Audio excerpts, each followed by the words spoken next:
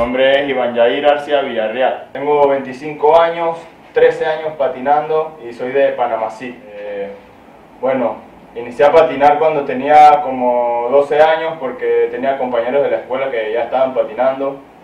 Eh, me llamaba mucho la atención hasta que le insistí a mi mamá que me comprara una patineta y ahí, bueno.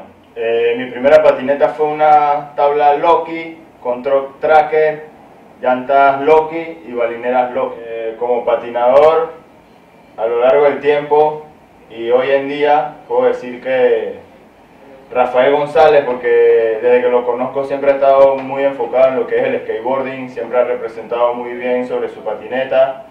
Ahora en estos tiempos lo vemos mucho en lo que son fotografías de skateboarding y recorriendo el mundo y creo que una de las mayores motivaciones como persona en lo que es en el skateboarding en Panamá.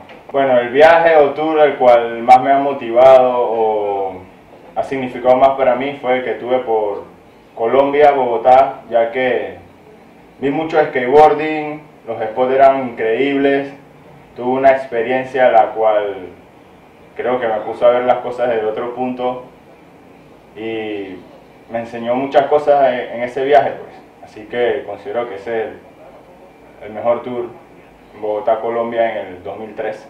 Bueno, esa experiencia fue que estábamos en el spot llamado Telecom en el centro de Bogotá. Eh, estaba intentando un fake flip, me acuerdo, y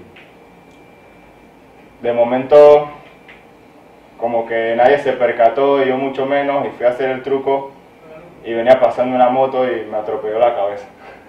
Bueno, fuimos al hospital con Sebastián, me acuerdo. Eh, todo fue un dilema porque entramos con cámaras y todo para poder documentar el hecho y llegaron los policías y tal y nos dijeron que no podíamos estar filmando, bla, bla, bla. Pasó como una hora más o menos en lo que me atendieran y Luego de eso fueron como, ¿qué?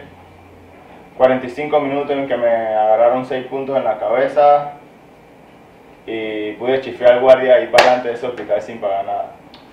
Bueno, en cuanto a mi familia y el apoyo, eh, mi mamá es la que más me apoya. Eh, siempre ha sido el ánimo en todos los momentos, igual creo que para todo el mundo la mamá es la persona más importante y es la que más apoyo me ha dado desde el principio. Eh, bueno, mis tres trucos favoritos son el 360 Flip, el igual Hill Flip y Fakey Kickflip.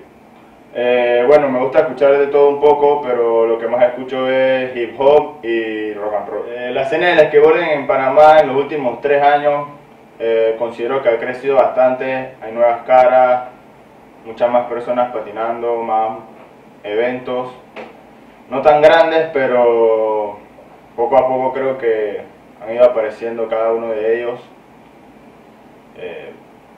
En cuanto a infraestructura, Panamá está en constante crecimiento, los spots cambian a diario, siempre hay uno nuevo. El dedo rojo así, vira, pero aquí, de aquí para allá.